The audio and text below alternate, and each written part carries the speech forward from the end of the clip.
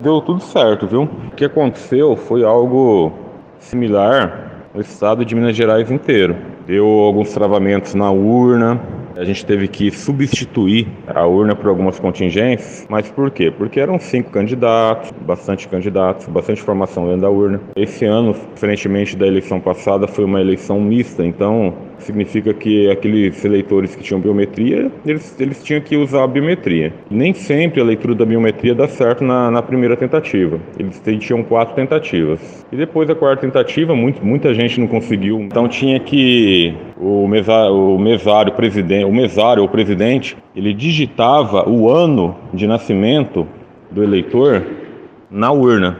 E estando certo, a urna liberava com a leitura da digital do mesário. Então, para você ver como que é o, era um procedimento assim, um pouco mais demorado mesmo.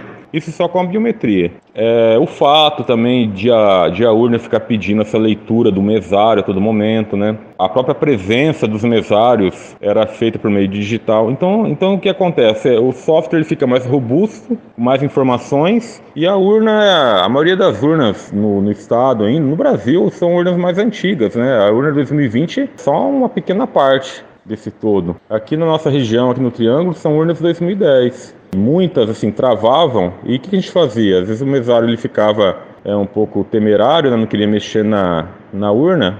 Ele poderia fazer isso, né? Inclusive, esse procedimento consta do manual que eles recebem. Era só desligar a chave e ligar de novo que voltava a funcionar.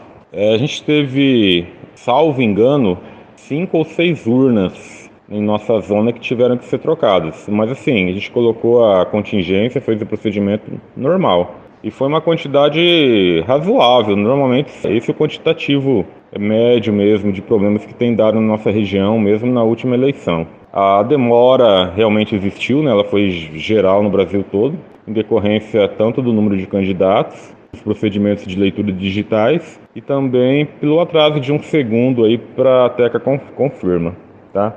A gente recebe algumas críticas, por exemplo, ah, a pessoa foi votar e já tinha votado, tal. Todo, tudo que eu fui analisar, teve pouca reclamação nesse sentido, tá? Um ou dois casos, mas eram, eram fakes também. Você chega para analisar e percebe que é o mesário que digitou o número errado, tal. Então, assim, apesar de ter sido bastante trabalhoso, a gente precisa de muita paciência, porque a gente lida com eleitores o dia todo, né? Alguns já, já chegam assim com uma, uma certa noção negativa dos trabalhos em decorrência de fakes, né? Por mais que a gente tenta diminuir a propagação de fakes, instruir, como existe pessoas de má fé tentando disseminar isso, então a gente está preparado para recebê-los também e tenta explicando. Eu acho que deu tudo certo, assim, até para quem não conseguiu votar. Por quê? Porque aqueles candidatos aptos para votar, todos foram lá votaram, deu tudo certo. E aqueles que chegaram lá e descobriram que estavam inaptos porque o título estava suspenso, né, de repente está tá cumprindo algum tipo de pena criminal, alguma inelegibilidade, ele, ele saiu esclarecido. Ele vem no cartório eleitoral, acaba sendo tudo esclarecido. Então saiu tudo dentro do, do normal. A previsão, a previsão era, era de que os trabalhos terminassem às 22 horas, né?